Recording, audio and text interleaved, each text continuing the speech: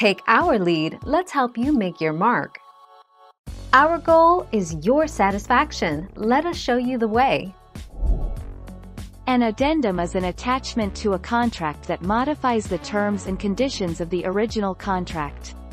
Addendums are used to efficiently update the terms or conditions of many types of contracts. Point 5 September 2020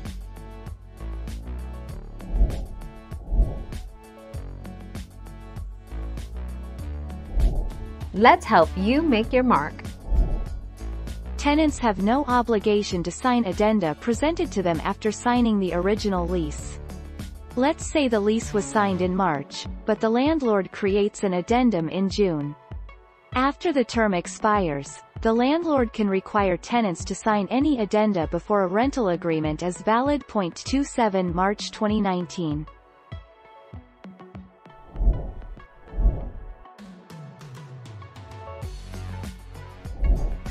Take our lead. If the seller won't sign the addendum, then the terms of the contract remain as they are now.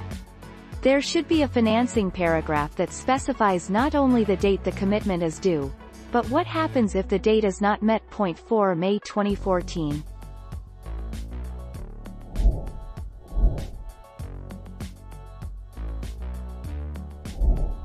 Take our lead.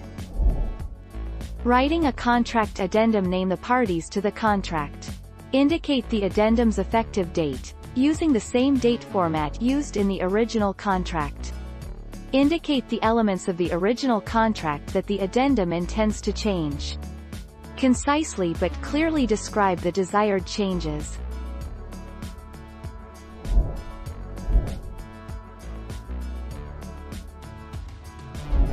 Let's help you make your mark. An example of an addendum being used would be if the parties wanted to add something to the original document. For instance, an individual who is purchasing a house may not want to purchase all of the furniture that is being left behind. However, after thinking about it further, he changes his mind. Point 20 September 2018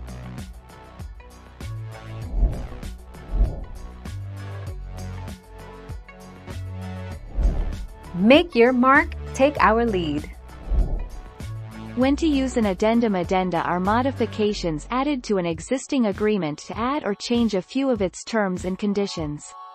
It does not replace the original contract. Use an addendum to add information agreed to after the parties have agreed on the contract terms. Point 15 August 2019 Thank you for watching. Please subscribe and hit the bell notification.